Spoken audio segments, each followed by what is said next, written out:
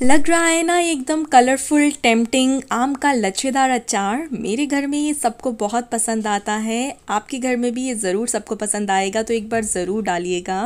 Welcome back to my channel special रसोई make sure आप मेरे चैनल को सब्सक्राइब कर दें बेल आइकन को हिट कर दें। आइए जल्दी से देख लेते हैं, इसको बनाने के लिए हमें कौन कौन से इंग्रेडिएंट्स चाहिए।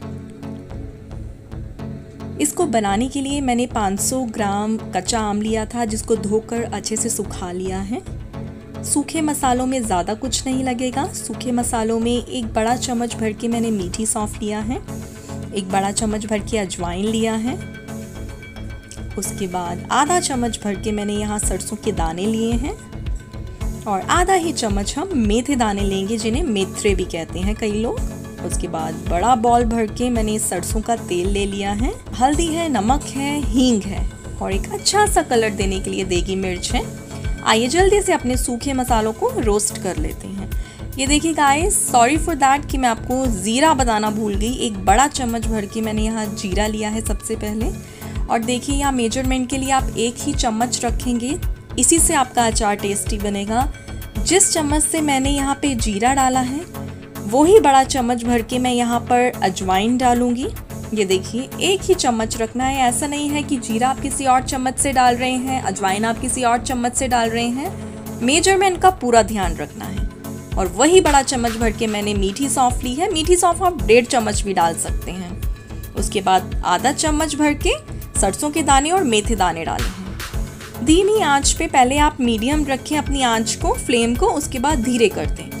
धीरे धीरे इनको रोस्ट करें और जब ये सब 50 परसेंट हमारे रोस्ट हो जाए, उसके बाद वन फोर टी स्पून मैं यहाँ पर हींग डालूँगी। और हींग मेरा बहुत तेज़ है, इसलिए मैंने वन फोर्थ डाला है। अगर आपका ज़्यादा तेज़ नहीं है तो आप आधा चम्मच भर के भी आधा किलो आम के लच्छेदार अचार में डाल सकते हैं। जब तक हमारे रोस्ट किए हुए मसाले ठंडे हो रहे हैं, ठंडा करके उन्हें हम पीस लेंगे, तब तक हम अपने आम को छील लेते हैं। मोटी साइड से कद्दूकस की जो मोटी साइड होती है, वहाँ से हम इनको कद्दूकस करेंगे। ये देखिए, मैंने लच्छे बना लिए हैं अपने कच्चे आम के। आइए उसके बाद अचार डालने का प्रोसीजर स्टार्ट करते हैं। ये देखिए, अब धीरे धीरे करके हम अपना सरसों का तेल डालेंगे। गाइस यहाँ सरसों का तेल आपका कम नहीं होना चाहिए।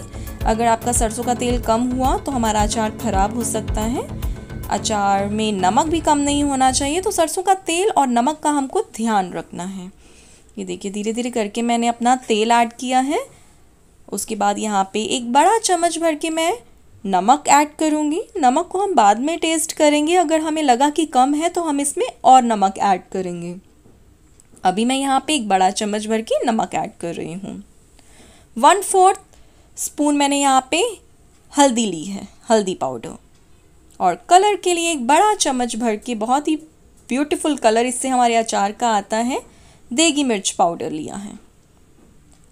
सबको इंग्रेडिएंट्स को हम मिक्स करेंगे धीरे धीरे उसके बाद जो हमने मसाले अपने पीस लिए थे गाइस आपको यहाँ पे फाइन पाउडर नहीं करना, आपको दरदरा पीसना है। ये देखिए, मैंने दरदरा पीस लिया था। अब धीरे धीरे अपने अचार में हम सारे मसालों को मिक्स करेंगे।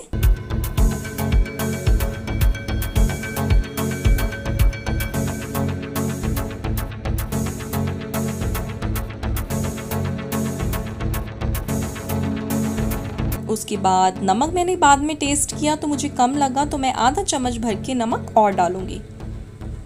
सरसों का तेल और नमक आपको ध्यान रखना है, यही कुछ चीज़ें होती हैं जिससे हमारा अचार ख़राब हो जाता है।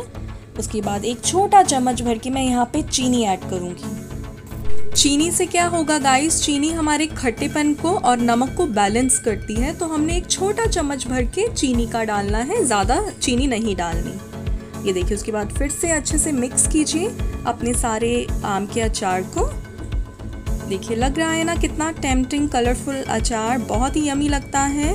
एक बार ज़रूर ट्राई कीजिएगा। उसके बाद जिस भी कंटेनर में आपको डालना है, आप मेक श्योर sure कि वो कंटेनर आपका बिल्कुल ड्राई होना चाहिए। अचार हमारा ख़राब ना हो, इसके लिए हमें गीला चम्मच उसमें बिल्कुल नहीं लगाना। और ये देखिए, तेल मेरा बिल्कुल प्रॉपर है। अगर आपको लगे कि आपका तेल कम है तो आप ऊपर से डाल के उसको एडजस्ट कर सकते हैं। वैसे तो ये अचार बिल्कुल इंस्टेंट है, आप साथ के साथ इसको खा सकते हैं।